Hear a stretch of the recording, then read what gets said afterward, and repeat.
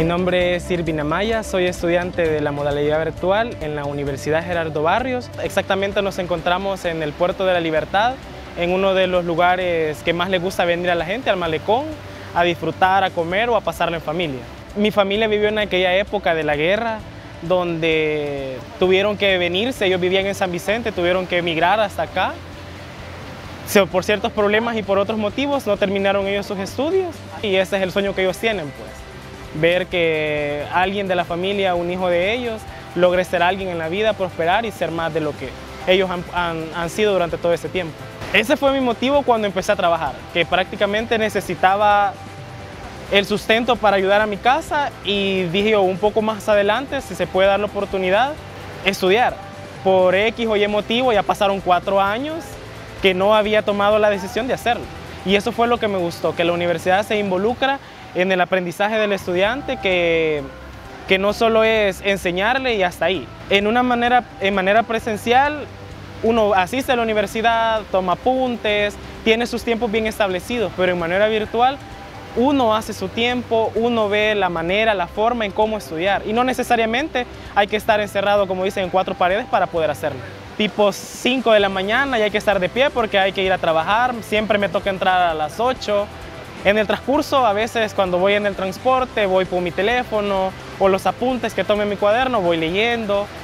Llego a mi trabajo, mi jornada normal. En mi hora de almuerzo, reviso de que no haya algún comentario de algún compañero en grupo, u otra cosa por el estilo dentro de la plataforma.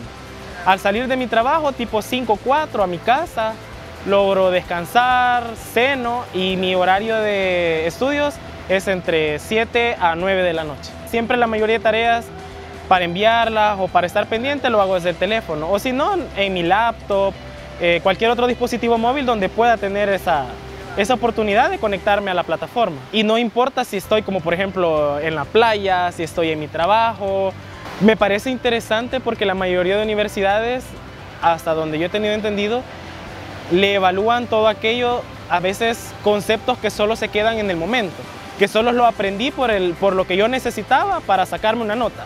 Pero en este caso son actividades que son evaluadas, que tienen cierto porcentaje y que son prácticas. Entonces yo lo aprendo de una manera más, más fácil.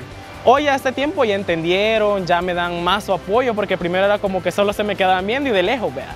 Ahora ya no, ya es mucho más importante, ya están conmigo, me preguntan y en algunas cosas hasta ellos se, enteran de cosas que no sabían. Entonces ha ayudado también a mi familia a enterarse de, digamos, yo me preparo, también ellos. Y lo importante es, como dicen, lanzarse al agua. Si uno no se atreve, en ningún momento de la vida va a lograr ser, alcanzar una meta, algún objetivo que uno se plasmó en aquel entonces.